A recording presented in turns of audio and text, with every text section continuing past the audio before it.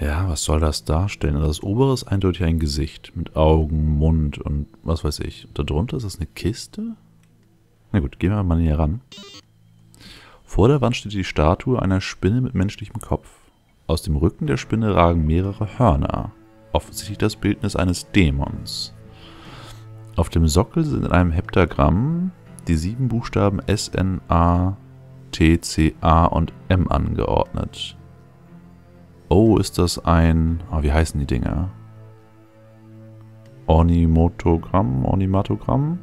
Irgend so eine Richtung. Da muss man die Buchstaben umdrehen, damit es einen Sinn ergibt. Ähm, und da da Akta mit drin ist, vielleicht Arachnata? Und warum ist es jetzt schon wieder weg? Komm. Tat, Nack, Snack, Mak, Tak.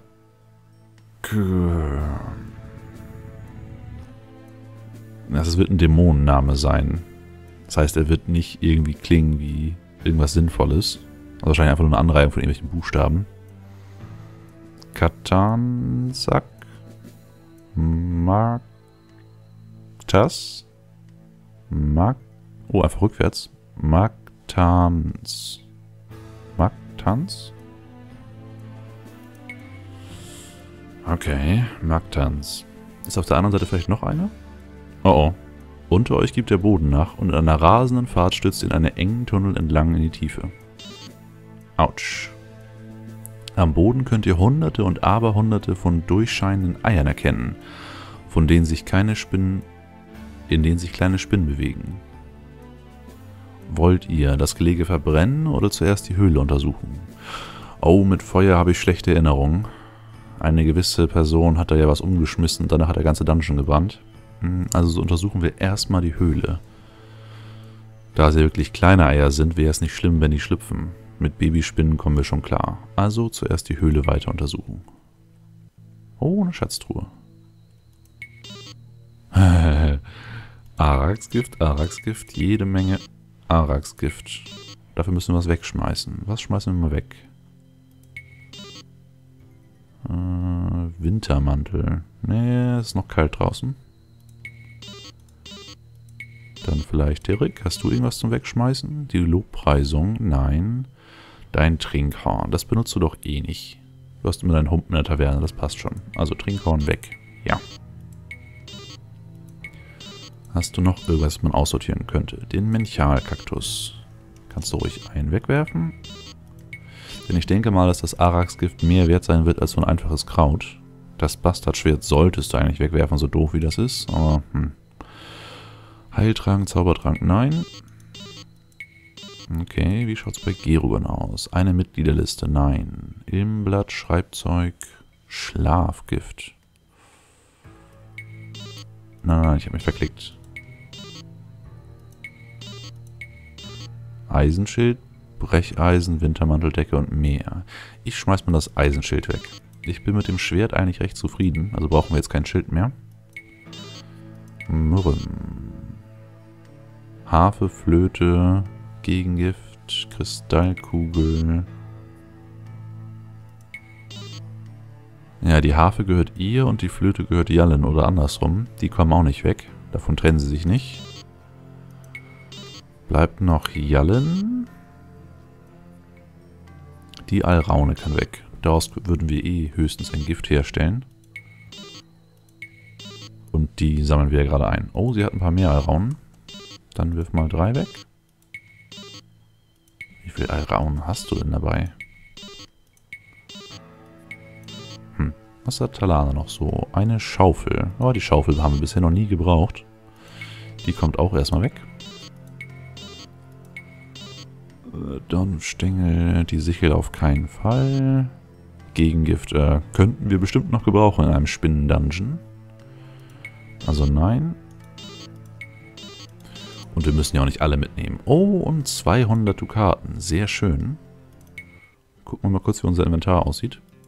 Hm. Ja, doch. Sehr viel Gift. Was haben wir hier? Ilmenblatt. Hat das noch irgendjemand? Nein. Aber die Alraune kann dann weg. Genau die. Gegenstand wegwerfen. Eine. So, gehen wir erstmal nicht zu den Eiern. Ein schmaler Spalt in der Wand scheint ins Freie zu führen. Wollt ihr die Höhle verlassen? Nein. Oh, aber sehr schön, dass wir hier von dem Untergeschoss aus direkt raus können. Ich hätte gedacht, wir müssten jetzt irgendwie wieder durchkämpfen, um nach oben zu kommen. Das merken wir uns auf jeden Fall. Oh. Äh, ganz viele Spinnen und ein Priester. Äh, lauf du mal zu dem Priester, aber hoffentlich nicht davor. Ah, ich wollte eigentlich schräg davor gehen. Aber na gut, du mal dahin. Schießt auf die Höhlenspinne. Sieben Trefferpunkte und sie steht noch. Oh, die könnten was aushalten. Das wäre gar nicht gut.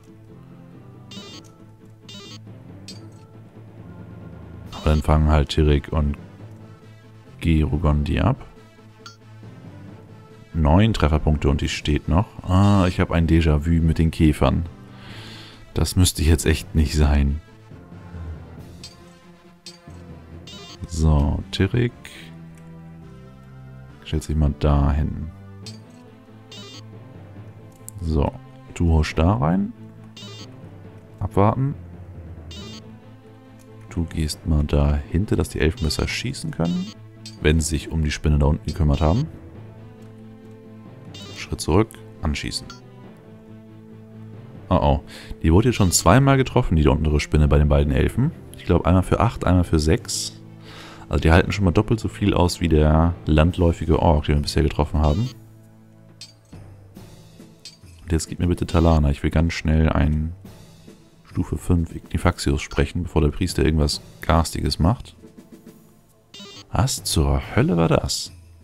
Er ist weggelaufen und hat von da ganz hinten mit seinem Stab zugeschlagen. Hm. Erinnert ein wenig an Herr der Ringe. Aber gut. Äh, Kampf. Ignifaxius. So. 5. Komm schon. 16 Trefferpunkte und er steht noch. Aber Talana ist glücklicherweise gleich nochmal dran. Also wiederholen wir das Ganze einfach. Ach du gute Güte. Der steht immer noch. Ähm, ich glaube, wir haben ein Problem. Myrrem schleicht doch mal langsam in Richtung von dem Priester und schießt währenddessen. Du gehst dahinter, damit du nächste Runde auch den Priester hauen kannst. So, du kümmerst dich immer noch um die Spinne, die schon zwei Pfeile in ihrem Torso stecken hat. Und die Spinne schreit wie ein Mann. Hm. Okay. Du sollst den angreifen. Geron trifft Höhlenspinne 13. Sehr schön. Also ja, es ist machbar, aber die sind echt zäh. Also allesamt, die Spinnen und der Priester. Dann mach jetzt nochmal ein Ignifaxius, nochmal auf Stufe 5. Na, endlich. Mann, Mann, Mann. So, und jetzt machen wir Computerkampf in der Hoffnung, dass Talana zu der Spinne läuft, die bei Gwendolyn ist und sich nicht irgendwo in den Weg stellt. Die Spinne hätten wir auch erledigt. Und ja, genau so habe ich mir das vorgestellt. Jetzt wird nur Jallen vor Mürrum laufen. Mhm. Mürrum dann um Jallen rumlaufen. Und den Elfentanz aufführen? Nee, macht sie nicht. Aber so ist ja auch okay. Oh, das gibt hoffentlich schön viele Erfahrungspunkte. Weil wir haben vorher noch nicht gegen Höhlenspinnen gekämpft, soweit ich weiß. Dann kriegen wir vielleicht den Stufenaufstieg, den ich so gerne hätte, bevor wir wieder in die Herberge gehen. Und mit etwas Glück erhöht sich dann auch die Magieresistenz von den Helden durch die Stufe und durch etwaige Mut- oder Körperkraftsteigerung. Ich weiß nicht mehr, was genau die Formel war. Also ich weiß, Mut gehört auf jeden Fall mit rein. Und die Stufe, aber was sonst, bin ich mir nicht sicher.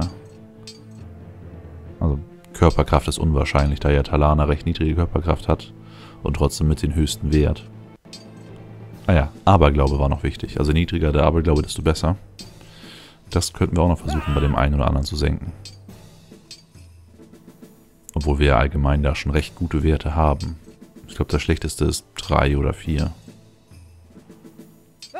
So, eine Spinne noch. Und dann müssen wir gleich den Elfen wieder ihre Nahkampfwaffen wegnehmen. So, 144 Abenteuerpunkte. Keine Stufensteigerung. Wie viel fehlen denn da noch? Äh, ja, okay, das dauert noch ein bisschen. 156 fehlen noch. Warum hat Talana einen Erfahrungspunkt mehr?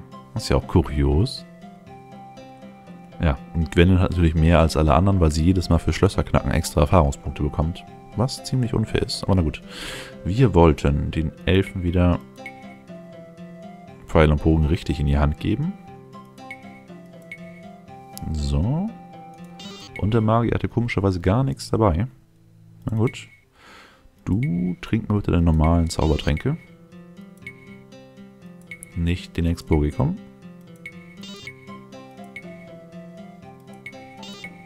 So, 30 hat sie schon wieder. Das reicht mir aber nicht. Wir haben ja eben gerade gesehen, dass sie dreimal Ignifaxio sprechen musste. Also fast ihren kompletten Astralhaushalt, um den einen Priester umzubringen. Äh, ja, das sollst du auch wegschmeißen. So, wegwerfen. Und das war nur ein Priester. Ich denke mal, wenn wir später mit dem Hohepriester zu tun haben, den es bei solchen Kulten ja meistens gibt, wird das dann noch schwieriger. Oder wenn wir auf zwei, drei auf einmal treffen. Aber so sieht das doch schon gut aus. Äh, Gwendolyn braucht ein neues Wisselkraut.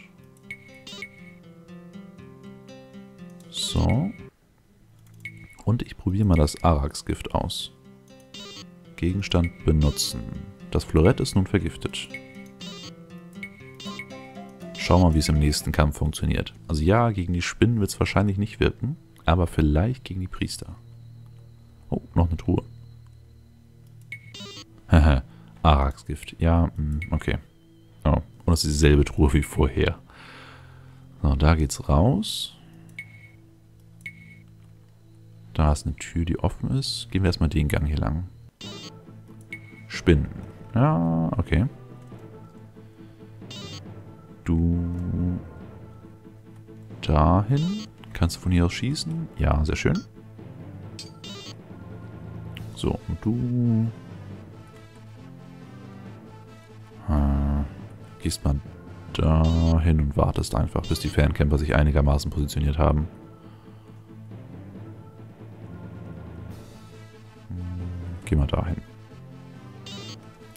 Geh dahin, der kann nur im Gleich schießen. Und du versuchst den da von hinten zu erwischen. Und du gehst ganz schnell von dem Eingang weg. Nicht, dass da gleich irgendwelche Priester mit Horden von Spinnen auftauchen, die in den Rücken fallen. Das wäre gar nicht gut. So, du gehst auch mal einen Schritt weg vom Eingang und schießt auf den. Höhlenspinne trifft Höhlenspinne. Sowas sehe ich immer gerne. Du schießt auf den. Und sobald wir gleich Talana und Tirik einigermaßen positioniert haben, können wir wieder den Computerkampf anmachen. So, Arax Gift gegen Spinne. Scheint zu funktionieren. Sogar sehr gut zu funktionieren. Ähm, ja. Muss ich mir überlegen, wie effektiv ich das einsetzen werde. Also ja, es ist eine begrenzte Ressource und ja, das kostet eigentlich sehr viele Dukaten. Aber zum einen haben wir viele Dukaten. Und zum anderen ist es irgendwie ein bisschen übertrieben stark. So, Mürrem, schieß bitte nochmal. Und ich würde gleich gerne mal gucken, ob das Arax-Gift jetzt einmalig war oder ob es für den ganzen Kampf ist. Also Gwendolyn, Randa und Pieksen. Obwohl, so übertrieben. Sie hat genauso viel Schaden gemacht wie Tirik mit einem guten Treffer. Äh, ein Bewegungspunkt fehlt. Schade.